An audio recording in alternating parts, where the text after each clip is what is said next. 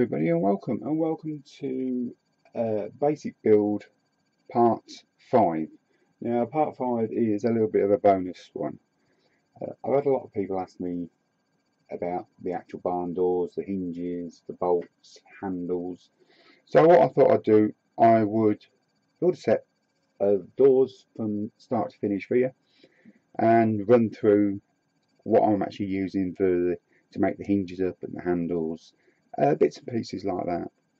So that's what I'm going to do. So I'm now going to get on and we'll get set up and we'll just run through all the basics. First things first, we'll take a look at materials that we're going to be using.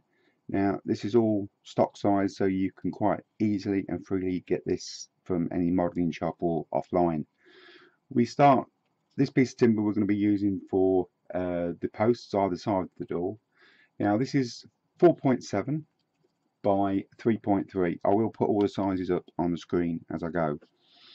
Uh, the second piece is going to be for the framing up of the back of the door and uh, this is just the joist size so it's 4.2 by no sorry it's a 4.8 by 1.7 thick and the last piece is these are going to be the actual planks to go on the door to make the door up itself.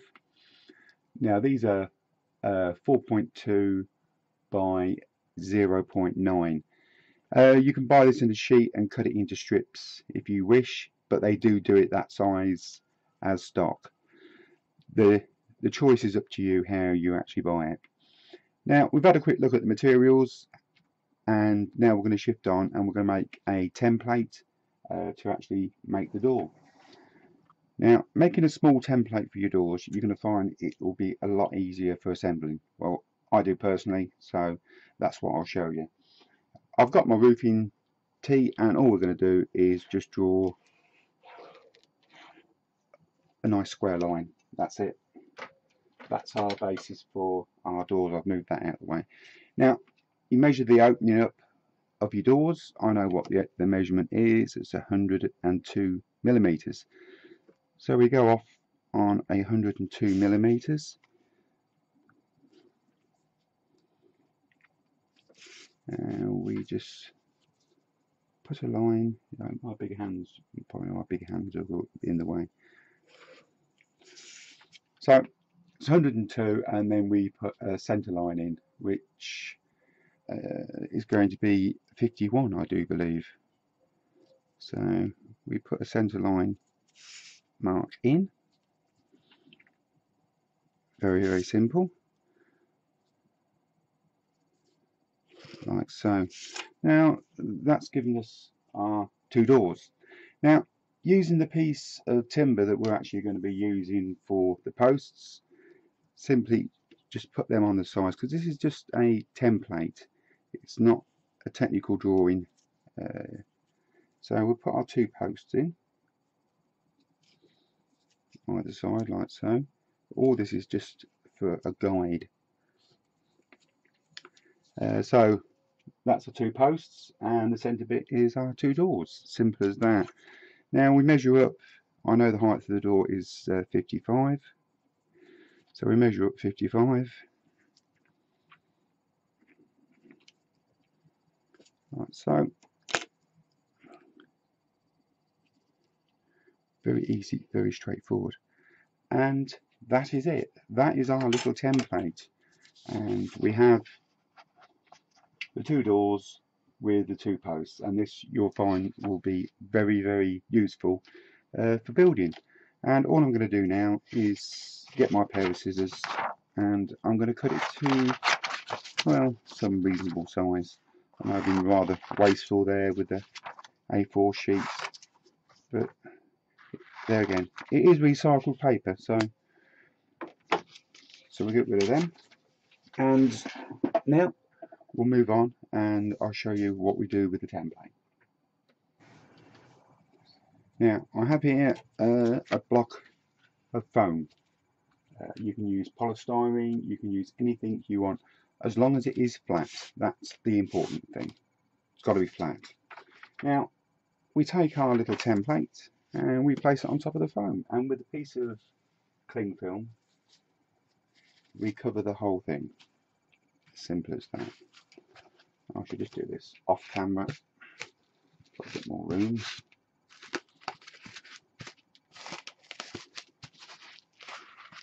As easy as that. So we have the template under the cling film on top of the block of foam. Now if you get yourself a ruler or some type of straight edge and place along the bottom line.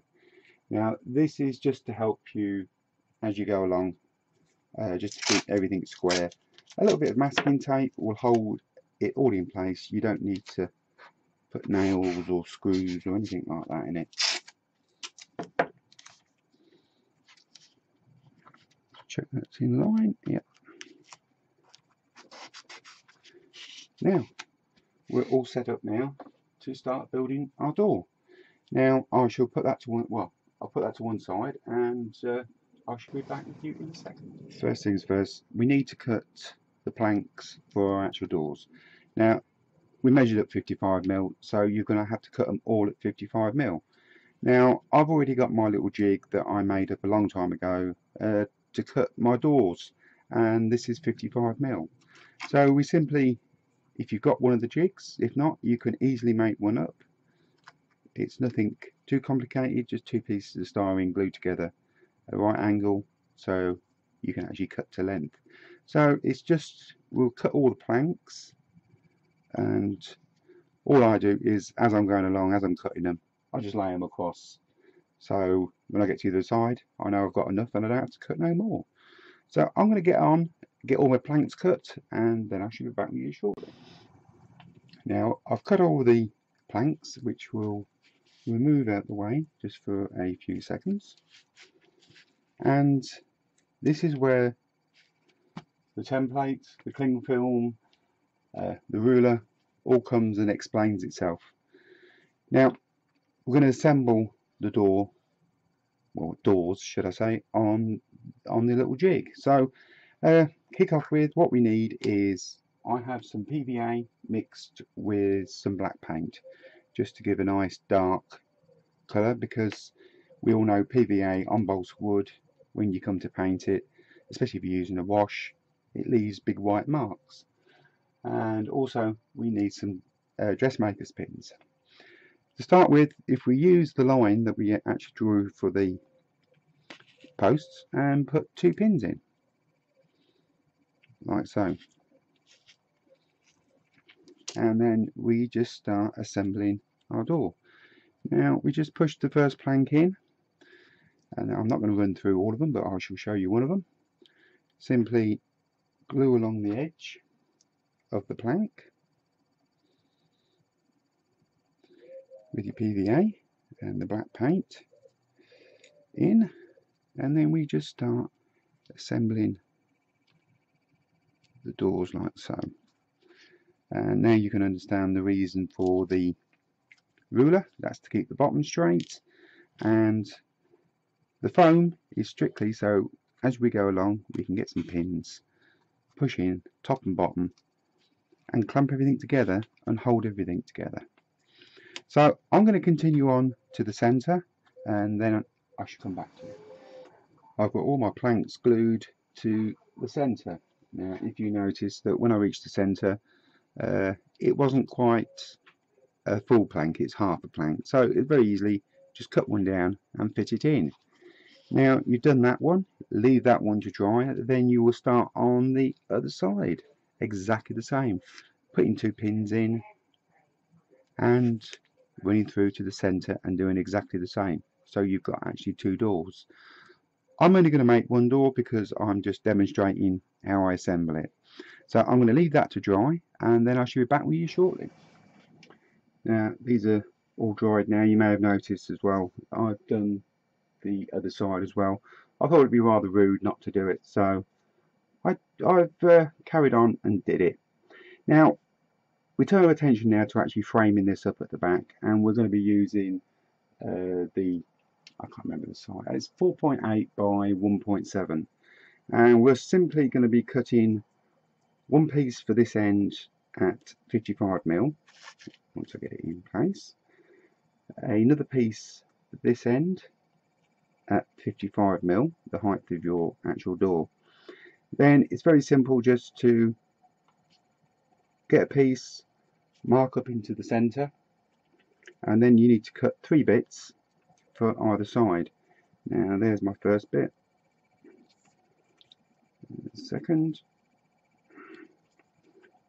and my third bit, and we do it in a E fashion. Like so. And I have the bits cut for the other side as well. Like so. Like so. Like so.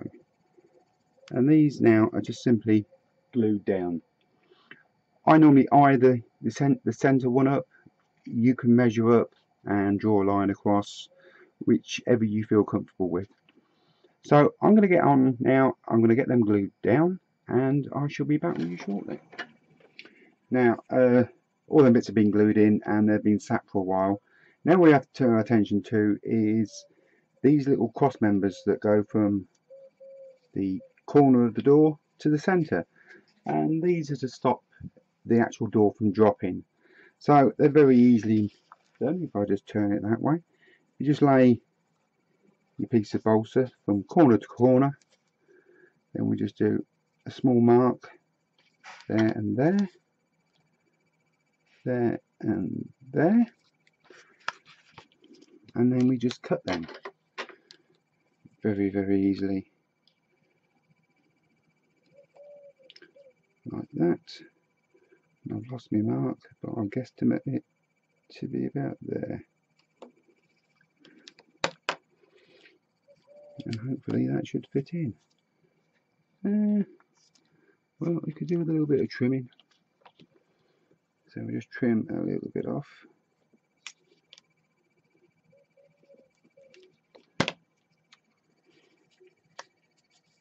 That's a little bit better. So, and that angle's a little bit wrong isn't it. Sorry about that. There we go, that should be a lot better. Yes, that's a lot better. So all we need to do now is do that one, we do this one and this one, then get them glued into place. It's as easy as that. Now everything's dry and we're actually finished, well actually finished making the doors so we can just pull these off here. Now you can see the reason why for the uh, cling film because it allows you to get things off. So we've got our two doors. We'll dispose of, uh, well not actually dispose of it, but we'll put that to one side. You can keep the, keep it and make another set or do whatever you want. Now we have our two doors and what I'm going to do now is before I go any further I'm just going to give it a coat of wash. Now this wash is 90% thinners which I do use the ultimate uh, thinners because I find them better with 10% paint, uh, black paint. Not a very strong mix, but it's strong enough to do what we need. Now, I want to give that a coat. And we're going to leave that to, to dry. I will uh, paint both of them up. But I will come back in a little while and just show you that you can actually remove these dark patches. If they're too dark and they're too sort of uh, too much of a shape, we can actually remove them. But I shall come back in a second and just show you how to do that. Now, before they're totally dry, if you've got little areas like this that you want to sort of clean up, if you get a sharp knife now, that glue will actually come off. So you can sort of clean up and just sort of reshape any bits that you feel that uh, you don't like the look of should I say and you can do that all over I'm quite happy with it I, um, to me that looks like it's been painted and there's tar but that's the way you can do it and it's very easy that excuse the big hand that they will cover cover back over even though it's been glued you just drop a bit in and it will disappear. We're having a little bit of a hard job with that bit there though. I think that's a, a little bit of glue at some time it's got on there. And we'll dig it out, see if we can get that stain down. Yeah, we can, yeah. So, that's how you do that. Now, I'm going to leave that to dry and I shall be back in a little while. Okay, we're back with a door uh, for the moment.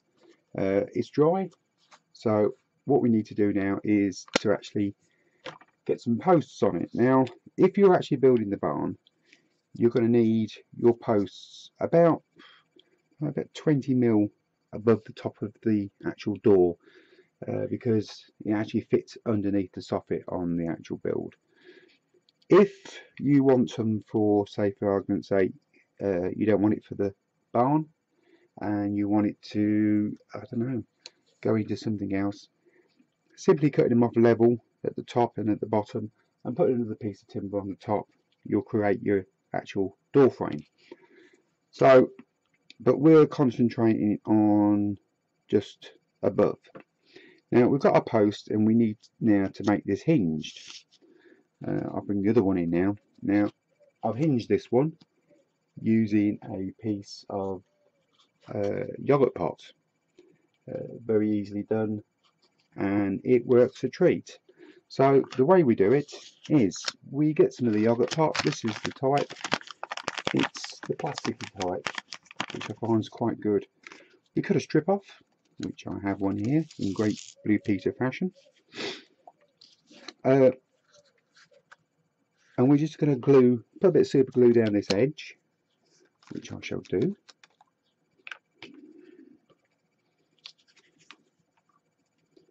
So we just run some super glue down the edge like so. And then we stick it straight on. In the middle why not? Yogurt pots I've got thousands of them and we'll hold that down for a few seconds until it bites. And then I'm just going to leave that for a minute or so. I'm going to actually I'm going to have a cup of tea and I'm going to come back and then we'll carry on right tea break over. Now that's had a few minutes to dry. And we simply if, if I can keep it in shot we simply just trim up the ends. Like so trim that end up. I'm being very extravagant with these yogurt pots as I have got a lot. And then we trim up this end. Just use the, the back of the door uh, as your gauge to cut it off, which you didn't see. But believe me, it just ran along that edge quite nicely. Leaving this bit. Now, all I normally do, this is very difficult. I do it like that. I put my arm on the other side. Just run the back of the blade along that edge just to score it and then fold it over like so make sure it's nice and creased then back on itself again. Uh, I'm just I'm just trying to do it so it's in in shot. Back on itself again and then just cut along that edge. And we have our little hinge. Now all we do now is uh, we get our post put some super glue on there and we glue that onto the post. Uh, making sure it's in the right rotation. Yes that's in the right rotation. So all I'm going to do now is put a little bit of super glue.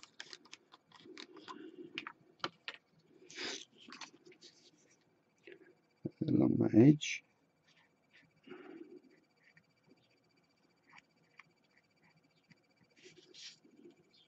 Making sure you're in the right rotation, should I say. And very carefully just place that on that edge. And as you can see, you've got a nice little silver edge that runs all the way down there. That can be just done in a little bit of black paint and that's it and we've got the hinge on the inside it's just a matter of we'll touch that in with black paint so you can't see that but that then will make your hinge your door to open and close. Okay it won't it won't give you millions of openings but it will last a good time as long as you're sensible with it and not opening and closing it every 30 seconds. So that's the two doors done. I've lost the other door now. Oh no it's here that's our two doors with the two, two posts done. That one and that one turn them over. And they're both facing the right way if I turn it around that way. But please check on that to make sure that your uh, supports are all facing upwards and not downwards because uh, that wouldn't be good. Now we move on to putting some uh, hardware on it should I call it uh, we'll, we'll, just do we'll just do one. We'll do this one. And I shall get some bits together and we'll move on and we'll make some little T-hinges right now on to making some hinges. Now I make my hinges using this stuff. This is I think it's ever, evergreen uh, now you get a pack of it. There's about 10 lengths in a pack. I think it's about four pound. It's pennies and the size of this is 2 mil wide by 0.5 in thickness. And it comes in extremely useful for a lot of things believe me it does. Now what I'm going to do now is cut a piece of this at roughly about 25 mil and a well, I explain? 25 mil length that will do that piece and a piece at about 6 mil to do the actual T-hinge which I've already got here which I've already got cut. Try and save a little bit of time which I'll be gluing one piece there and one piece on the actual door frame like so. And I should do three of them but I won't be doing three of them. I'll just do the one and I'll get that glued in and then I'll be back to you. Right now once you've once you've glued all three in uh, it will be looking look the same as that but without the bolts. And that's the next thing we go on to. Now the bolts are cheap I buy these. These are by MIG and they're 1.4 millimeter uh, nuts and bolts. You get the heads one side and you get the bolts the other. And if I just move them up there and get a scalpel they're very very easy to remove. I can get that in shot. Just by using a flat scalpel I'll go that way. They just slide off like so. I should cut some off. Right, we've got a few there. And then we can go back uh, just to, to, to, some ordinary Tamiya glue. Uh, I just picked three points. That one's there, one in the centre there, and one at the end. That will do. And with a wax pencil, just drop them on. He says, "There's one."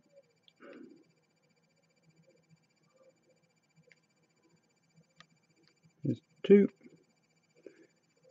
There's three. It's as simple as that. Hope I had that in shot. And then you put another two on that side and you just continue down on all four your on all three of your T-hinges and that will be the front finished. Okay we're over to the back now as the T-hinges in the front have been finished and it is very simple on the back as well. Pick your three points again and this time with a little bit of super glue do your three points where your bolts are going to bolt heads going to go. Then with your wax pencil just drop them on.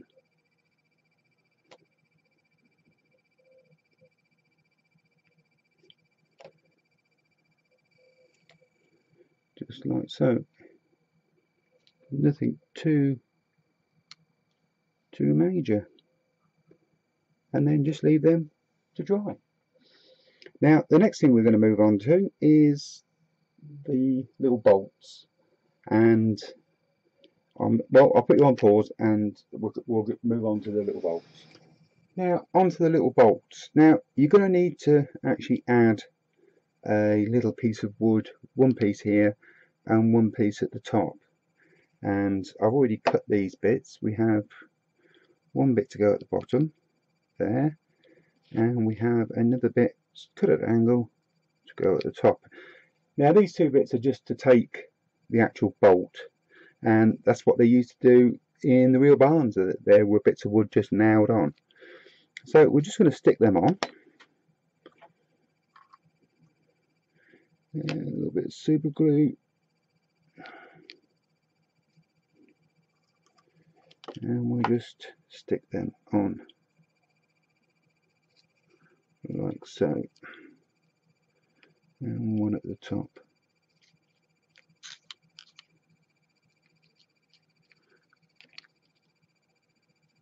So. So we've got our two bits of wood.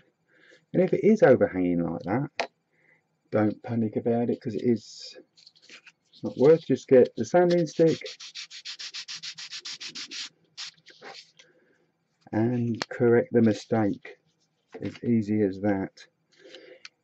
Right we've got the two blocks of wood in. Now we turn to our little bits of styrene again. The uh, one sorry it was 2 mil by 1.5 what we actually use for the hinges. And we just cut a small piece to fit on top of the block of wood. Simple as that. Now I'm just going to glue that down just run a little bit of glue along there. Actually I'll use my wax pencil for that. And then well see you've got shaky hands and that's gone to one side. Can we recover it? Just we recovered that bit. Now the next bit is to actually make a little bolt. Now what I'm actually using is a little bit of uh, 0.8 wire. Very very simple. All we do is with a pair of tweezers. Just do a bend like so. And then we're just going to glue that onto there. I've already got a couple made. Now I'm not going to glue these on camera because uh, I just tried doing it and I ended up sticking myself to it. So I'm just going to put it on pause. I'm going to glue that and then I shall be back. Now we've I've managed to glue that down without gluing myself to it as I did before. And all we need to do now is just with a little bit of extra super glue is just go over the top of it so it just takes the rolls the edges off because when you come to paint that that will actually look like a piece of metal that's rolled over, over the actual bolt. Do exactly the same on the top, paint them black, and that is your little bolts for the inside. Now the final thing left is to actually make a set of handles and these handles are very very easy to make if you look at this one here as you can see I've just used a piece of uh, 08 wire and just bent it into a U. Very, very simple. And being balsa wood, you can virtually just push it through. So I've already got one bend there on that piece. Uh, I shall just do another bend like so and make myself up a little handle. Nothing too mad. And all you need to do is put your two doors together like so then just make a mark one side and just transfer the mark over and literally just drill two small holes push it through and put a blob of super glue on the back where it comes through. Snip it off with your snips when you've got it set at the, the right depth and that is your little handle made no big mysteries about it at all. So that is it. Hopefully uh, you understood everything that uh, I've done. There's the two completed doors with the hinges on. And if we turn them over with the uh, bolt, bolts on the back the little hinges. I haven't painted them yet but I shall get round to doing them. I actually did do them all on the actual build. They're all done and complete. So that's it. Uh, that's how I do the little barn doors. I hope it's been of some use to you and uh, hopefully we'll see you on the next one. So thank you very much bye